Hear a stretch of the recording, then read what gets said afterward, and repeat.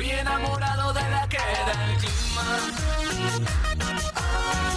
Los nublados nos iluminan. Todos los días la veo en el televisor. Cuando hace frío, cuando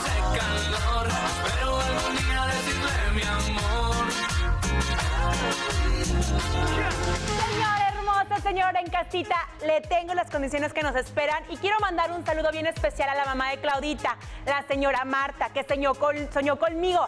Señora, usted y yo estamos en conexión. Claudita está con nosotros en el estudio. Está chiquita, pero tiene mucha maldad dentro de ella.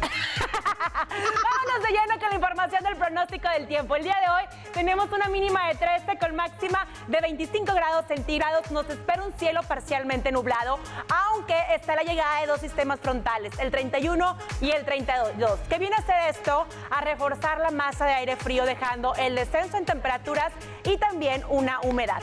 Vamos a ver las temperaturas que nos esperan para los próximos días. Vemos que hay un descenso de miércoles para jueves. El miércoles no se espera una mínima de 12, alcanzando una máxima de 21 grados centígrados. El jueves alcanzando máxima de 18 con mínima de 8 grados centígrados. La probabilidad de lluvia se mantiene entre 30 y 35%, que quiere decir que va a haber nubosidad, que va a haber un cielo parcialmente nublado. ¿Quiere ver las imágenes de esta mañana en la Sultana del Norte? Se las tenemos porque la amamos y la adoramos y usted flujo está despejado.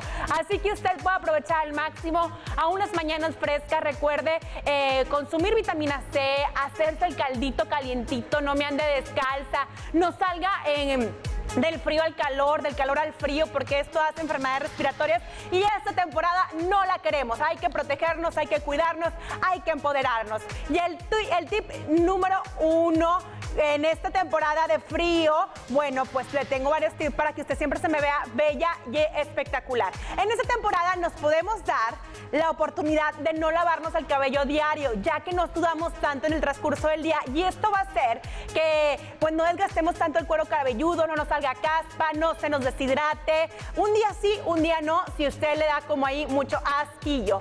Y también el segundo tip es usar bloqueador solar. Muchas veces pensamos que por estar en invierno no es necesario el bloqueador y no es así. Como que ya los rayos pegan y esto hace que nuestra piel pueda tener algún problema.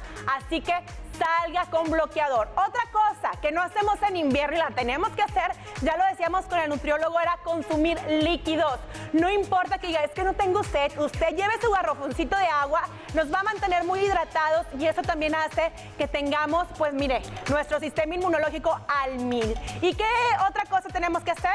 Bueno, la crema adecuada. Muchas veces no usamos crema, lo dejamos para mañana, se nos hace como pues fácil así que pasen los días y ahí tenemos toda la piel escamadita, más ahorita que usamos tanto antibacterial y esas cosas. Llévese también su cremita, use, hidrate sus manos, su cuello, su cara, sus piernas para que usted se me vea hermosa, preciosa, espectacular y también usted, hombre.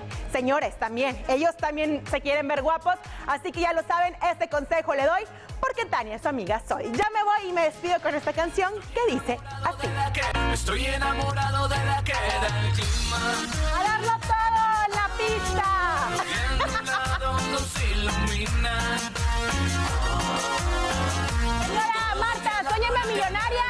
Sol, Cuando hace frío, cuando hace